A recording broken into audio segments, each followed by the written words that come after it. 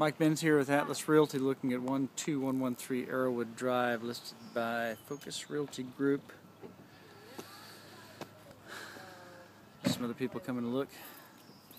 Listed 199,950. Lots of landscaping up front. Roof looks pretty good.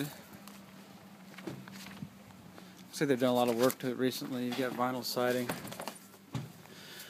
On this one, I did just talk to the agent a minute ago, and they did just say that there was a number of offers and that they are expecting more. Doesn't surprise me. This thing looks pretty nice other than the blue carpet. They've scraped the popcorn off the ceilings. They've replaced windows. Put in tile floors. Replaced those back doors with new French doors. We've got uh, solid surface countertops. Looks like a silestone in here. These cabinets have all been changed out.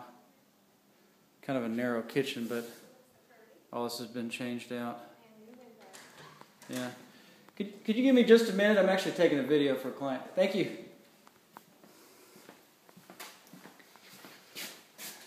Uh, new slider doors here. Garage. We've got a sprinkler system, see the control box over there. Washer and dryer do not convey.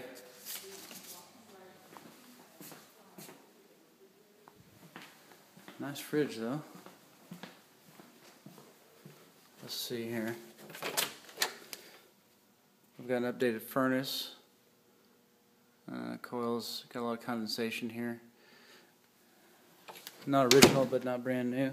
A lot of blue carpet, but I don't think that's going to stop anybody from buying this thing. All the windows have been changed out.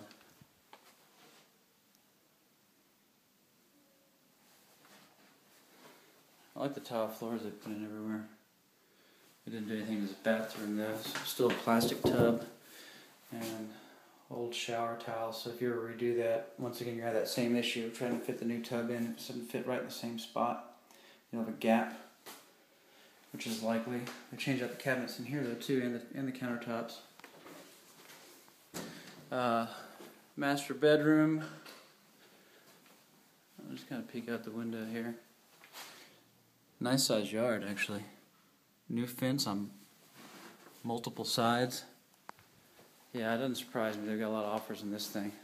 It's going to be a pretty good sized bidding war on this. I mean, it's not perfect, but it has a lot of updates to it. Still a plastic tub in here and old tiles around.